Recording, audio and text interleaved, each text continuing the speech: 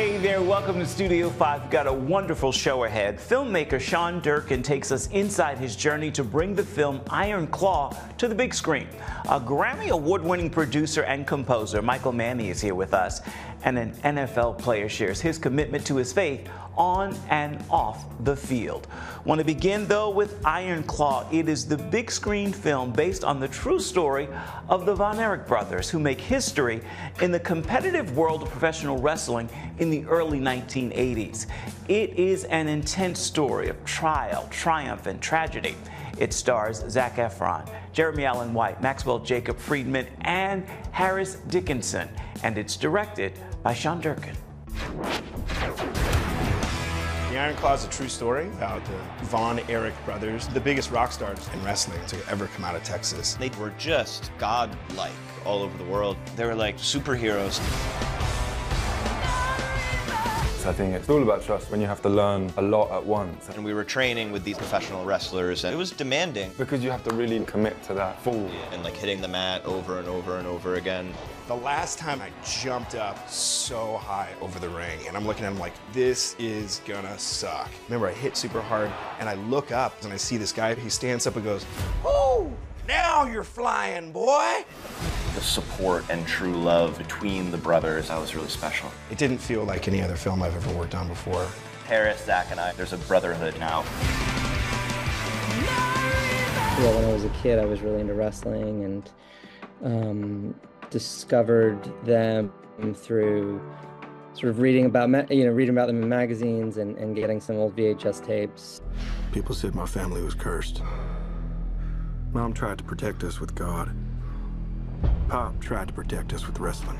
And I thought it was so much of so much of what I'm interested in. Um, it's it's complicated family dynamics. It is generational trauma and this notion of a curse and what that really means. Um, and you know, questioning where we come from and what we believe, and um, you know, and then also looking at the you know the inner emotional life of a wrestler versus the the public emotional life of a wrestler. I believed him. We all did. I think I'm really drawn to the intricacies of friend, friendship and brotherhood. Um, I don't have a lot of brothers, but I have a group of friends who feel like brothers. Um, and so, uh, and especially growing up playing a lot of sports um, and being on teams, there was a camaraderie there that was something I always wanted to revisit in filmmaking. I want you to join your brothers in the ring. Yes, sir. I love that. Woo! Now, we all know Kerry's my favorite, then Kev, then David, then Mike. But the rankings can always change.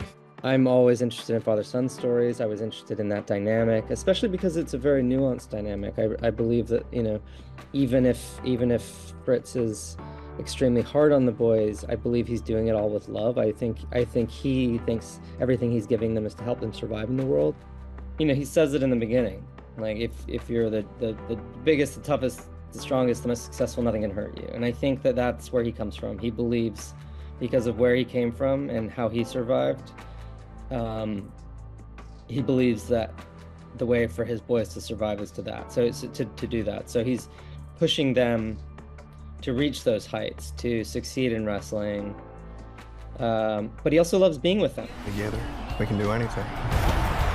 We're here to restore justice to the Wrestling Federation that our father built with his own two hands. The hands that were passed down to us. The hands that will deliver the Iron Claw to you. And the boys are driven by you know, in some ways that drive that, that comes from their father, that, that need to succeed. I talked to you about something, Mom. Dad's too tough on us. You gotta say something. You know, also wanted to look really honestly at the tragedy and how that psychological effect, effect of that, um, you know, wears on our main character, Kevin. Uh, but also then the rise, like how does Kevin survive? You feel that? That's pressure. You're pushing too hard. I'm fine, kid. Seriously, I'm just sick. So it was, yeah, it was, it was the only way forward was to, you know, without shying away from the tragedy, just embracing this, the, the, the sort of wonderful love between the brothers, and then also ending it in a place where Kevin's moving forward to the future that he that he did have. I just love being out there with you guys. It's the only thing that matters to me. Iron Claw is in theaters right now. He's the composer of some familiar sounds in the entertainment industry, such as this. He's worked with several celebrities, including singer and songwriter Tori Kelly. Is it safe to say Michael Mani discovered Tori Kelly? In a way, I, I, I helped her, I helped her on her journey at a point. God's hand was on Tori Kelly. She's very talented and was probably one of the greatest singers I've had a chance to work with. We're sitting down with Grammy Award winning composer and producer Michael Manning next. Stay connected with CBN News all day across our platforms. Hey, welcome back to Studio 5. Michael Mani is a Grammy Award winning composer and producer who has worked with the likes of Mariah Carey, Whitney Houston, and Eric Clapton, just to name a few. He's in Studio 5 this week to talk about his art and the highs and lows of the business.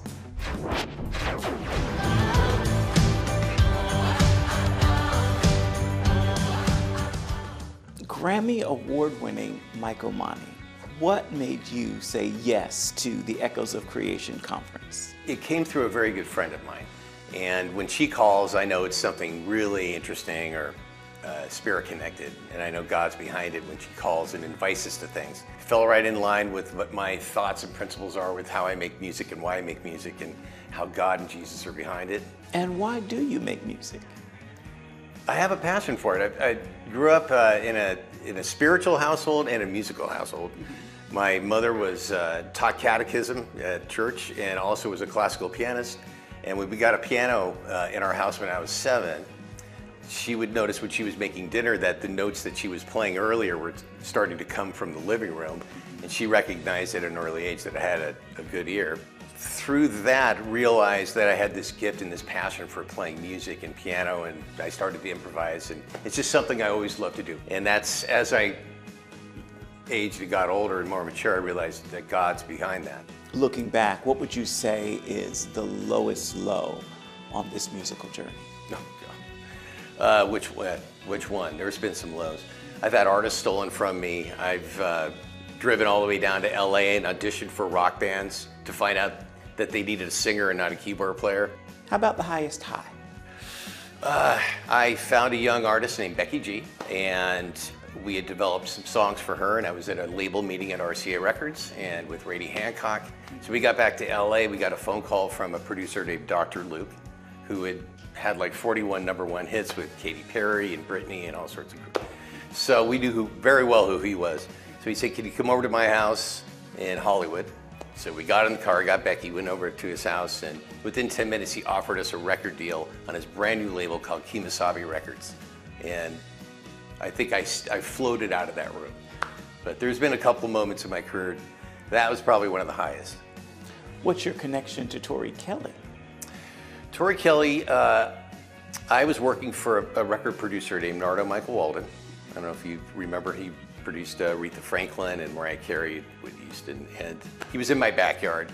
He kind of gave you my start. That's a whole nother story. But um, I had met a couple young songwriters, and as a keyboard player and music arranger, I need a lyricist, and one of the guys in that band was a lyricist. His mother, at one point, we started working together. His mother, at one point, said, "You have to see this young girl, this young lady on YouTube," and she showed us a video of Tori Kelly. She was 12 years old singing in this little talent contest. So we reached out to her through YouTube, got a hold of her parents, and the parents came over with Tori. And we ended up, I before she got there, I kind of came up with some chords, and it was my partner came up with a lyric called My Song. So we wrote it for her, and she sang it, and it just clicked. It was just one of those divine moments. I always know when God's opening a door or connecting me to something. There's just a feeling you get and everything just goes so well when God's part of it. And I try to do things on my own, and it never happens. I could work six months on something, it does not happen. God, God says it's so, and it happens in about 20 minutes. It, I have so many of those moments in my life that it's undeniable when God's hands on it. And God put Tori Kelly in our life. So, who else have you worked with on this musical journey? Mariah Carey, Whitney Houston, who else? When I moved to LA, I met Nick Cannon. And I had built one of the things that God told me to do was build a recording facility, and I didn't have the money for it, but somehow it materialized. And I found a contractor to help me build out a five room music production facility in North Hollywood. And I had met Nick Cannon through some meetings, and he needed help with some music production, so we became friends with my partner, and we started producing music for Nick. And through that, Mariah would come through the studio, and we worked on a couple pet projects with them. So that was fun.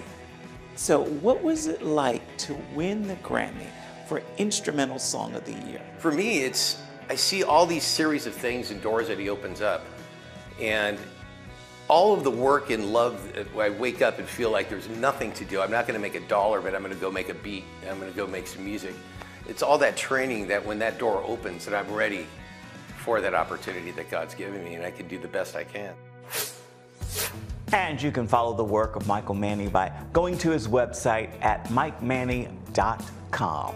We've got to take a quick break, but before we do, it's time to share this week's story and pictures. Here's your Studio 5 snapshot.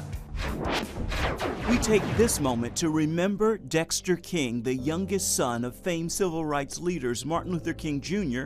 and Coretta Scott King. Dexter died this week after a battle with pancreatic cancer and just a few days before his 63rd birthday. He was named after Dexter Avenue Baptist Church in Montgomery, Alabama, the place where his father began his pastoring career. Dexter, like his siblings, spent his life upholding his father's legacy, and he served as the chairman of the King Center, which continues the family's fight for nonviolent change. Dexter King is this week's Studio 5 Snapshot. Still ahead, here's the NFL elite free safety sharing how Jesus set him free. Your walk is going to dictate your character and your destiny and how you move throughout your life. So the faith journey is relying on God, but there's things that we got to do as well. Pittsburgh's Minkah Fitzpatrick joins Studio 5 and talks about his pregame tradition, his keen intuition, and his hard work ethic. Welcome back to Studio 5. The Pittsburgh Steelers' Minkah Fitzpatrick knows God has greatly gifted him. He also knows to whom much is given, much is required. We've got a closer look at his story in this week's Studio 5 Faith on the Field.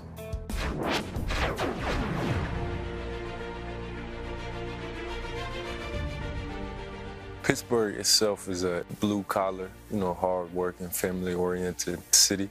The Steelers reflect that as well in the way that we play, in the way that the organization is run. That's how I am as, as, as a man and as a player.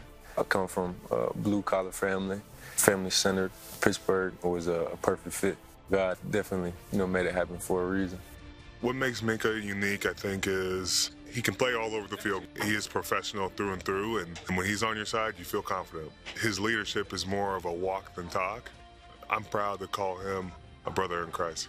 Jesus Christ free, this free safety. God has gifted me uh, with, with a lot for sure in my physical ability, but He's also uh, entrusted me with a lot in regards to my preparation and, and my responsibilities. Prepare as if it is an honor. You prepare as if it is a great responsibility. And then your result is reflected of your walk throughout the week. And that's kind of what I pride myself on. The faith journey is relying on God, but there's things that we got to do as well.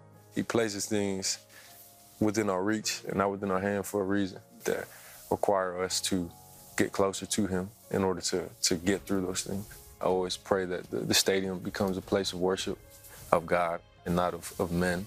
His faith and he has a firm foundation in Christ. And so, you know, God has given him and blessed him with the abilities and talents that he has. He truly plays for and, um, you know, glorifies God and all that he does. And so it's so cool having a teammate like that. I feel like Mink is finding his spiritual voice on this team leadership, accountability, holding guys to not just the standard of football, but also the standard of Jesus. And he's helping guys stay in that. It's, it's leadership. I think great leaders create great leaders. My coach in high school, Coach Hanson, was great at that. Coach Saban in college was great at that. Coach T is great at that. They're winning coaches for a reason uh, because they, they hold people to a high standard, whether they like it or not. All of us become better men. And the better man you are, I believe the better player you'll be. We got a cross with the crown of thorns, and then uh, around it says, Take up your cross and follow me.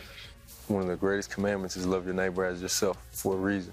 When you do that, you create a peace and a softness in other people's hearts and love them as, as we would like to be loved.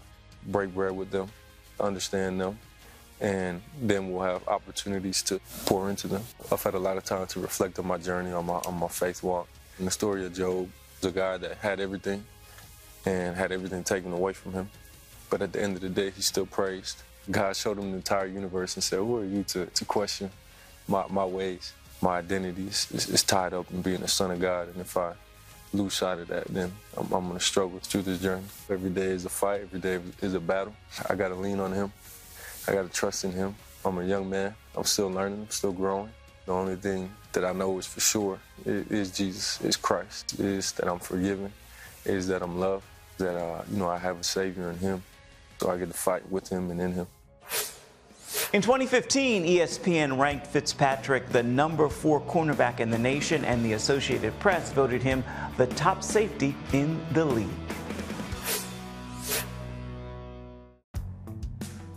You're back in Studio 5 where music helps us to bring you this show each and every week. And this week's soundtrack comes from Justin Bieber. He's got a new single in the new year. Take a listen and you'll hear why Last Love is what's playing in my ear this week.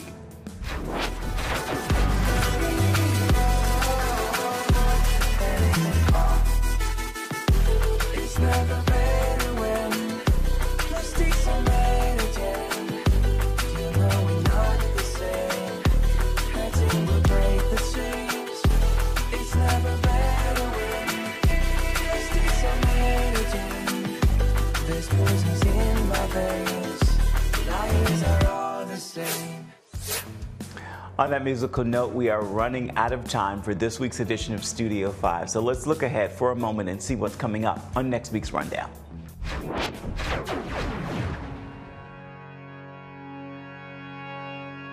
It's time.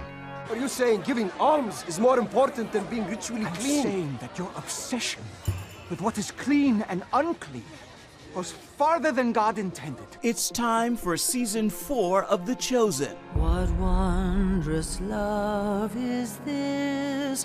Oh, my Listen carefully to my words. Studio 5 goes behind the scenes for an exclusive first look through the eyes of the cast and the crew. What wondrous love is this? Oh, my soul. My followers won't understand. The Son of Man must suffer many things. But you are the Son of God. Be sure and join us for that story and much more next week. This week, we've got time for just one more thing. We want to give that to Michael Manning. What's been the biggest lesson on faith in the work you do? I feel like we have an enemy, and he's very intertwined in the music industry. I've seen him, and he's stolen things from me all the time. Um, and through our obedience, we can defend against him. So I think my walk with, with God and the blessings that he has in store for all of us, I think through our obedience, then we capture those blessings, we can hold on to them, and nobody can steal them.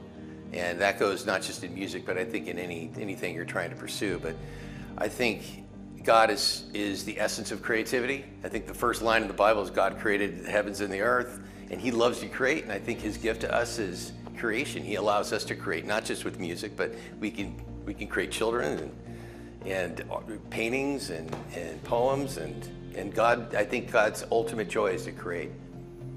And so the blessings that come from those things, um, I appreciate. I know when I'm trying to do it myself, and I know when God, His hands on it, and I know when His voice is commanding me to do things too. Michael Mani, that is a great word for this edition of Studio 5 and this week's look at uplifting entertainment. So until next time, make time to uplift someone around you and then please come on back. See where Studio 5 takes you next week. Thank you for watching. Bye bye.